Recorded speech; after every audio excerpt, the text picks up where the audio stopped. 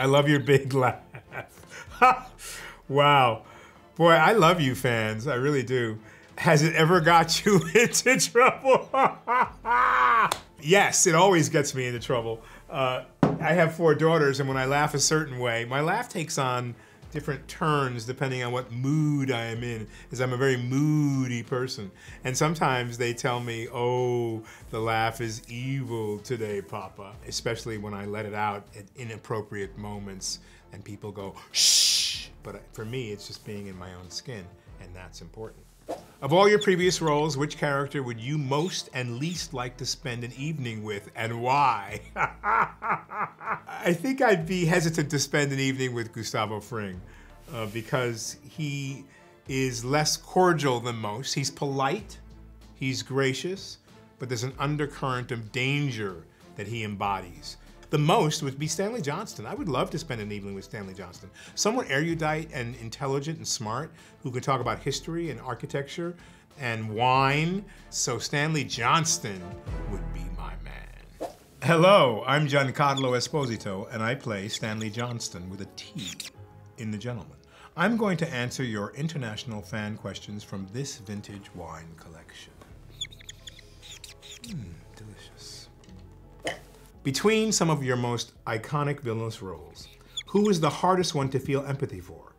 My answer would be Anton Castillo. What he does to a member of his family at the end of this game is absolutely reprehensible. Very hard to find empathy for this gentleman. What are your favorite Spanish words or phrases? My favorite is Lo siento mucho. I very sorry. Para you. How has working with Spike Lee shaped your career as an actor? What a great question. It's wonderful to work with people that you really love and who become friends because there's a shorthand in your communication. I remember the script that he gave me first was written by hand.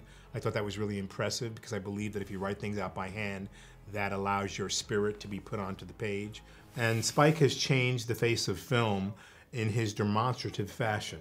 He's provocative, he is dynamic, and he's creative. And I love working with him. Went to a Knicks game with him in New York, New York basketball team, uh, last week, and we had an absolute blast. I read that you were born in my city, Copenhagen, Denmark. Do you ever go back? Do you miss Denmark? I was born at the Royal Hospital in Copenhagen, and I hope to go back soon, and I hope I can meet you there. What was it like working with Kaya Scodelario again after Maze Runner? Um, really pretty terrific. And I noticed back then that she was just really a powerful and, and uh, an actress who brought the camera to her. She is a gangster. What is the one role you haven't played yet, but want to?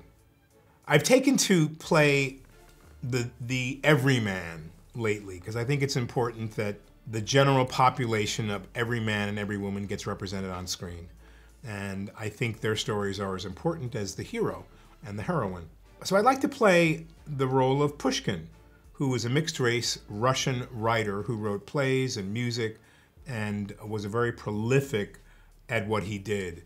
And I think his story is um, really interesting because we haven't been um, exposed to his history that's a role I'd love to be able to play at some point in my career.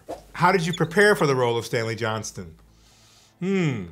I thought of robbing a bank because he's the wealthiest man in the world, the wealthiest African American man in the world. I had long conversations with Guy um, because Guy knows people in his life. He knows the real life Stanley Johnston. What was it like working with Guy Ritchie? Wow. Unpredictable, um, exciting, uh, a very different experience. Guy Ritchie is a filmmaker who is thoughtful and who never stops working on the script. And that means you could come in on the day of shooting and he's still working on the script and changing it.